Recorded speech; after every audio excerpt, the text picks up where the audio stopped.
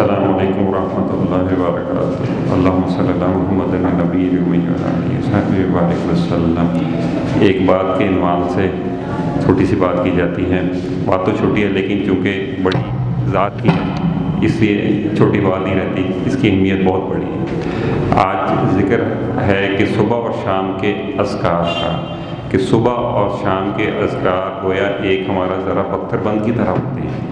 کہ جتنی مضبوطی کے ساتھ ہم کریں گے، اتنی ہی مضبوط ہماری یہ ڈھال ہوگی اور اتنی مضبوط ہو جائے گی کہ اس پہ چلائے جانے والا تیر چلائے جانے والے کی طرف واپس مڑ جائے گا۔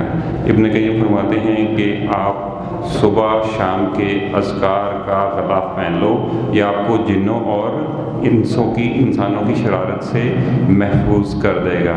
فرماتے ہیں کہ جو صبح شام کے اذکار کرتا ہے اور نماز کے بعد کا اذکار کا اہتمام کرتا ہے، رات کو سوتے ہوئے اذکار کا اہتمام کرتا ہے، وہ اللہ کو کثرت سے یاد کرنے والوں میں لکھا جائے گا۔ یقیناً بات ایسے ہی ہے۔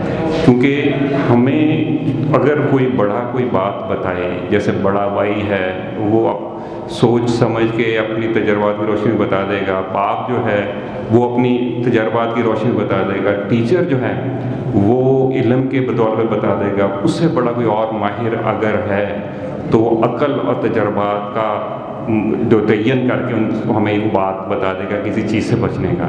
لیکن چونکہ نبی کو، جیسے کہ حضور صلی اللہ علیہ وسلم کو اللہ کی طرف سے ڈائریکٹ علم تھا، تو حالات کا پیدا کرنے والے آلے اللہ تعالیٰ ہیں، شر و خیر کا پیدا کرنے والے اللہ تعالیٰ ہیں۔ تو حضور صلی اللہ علیہ وسلم کی دعائیں، جو کہ اللہ نے ان کو بتائی اور حضور صلی اللہ علیہ وسلم نے ہمیں بتائیں، وہ بالکل ان حالات کا مقابلہ کرنے والی ہیں۔ ان حالات کے ذریعے صحابہ رضوان مجمعین نے دنیا جہاں کی جو مصیبتوں کا مقابلہ کیا اور ان کو ظاہر کیا۔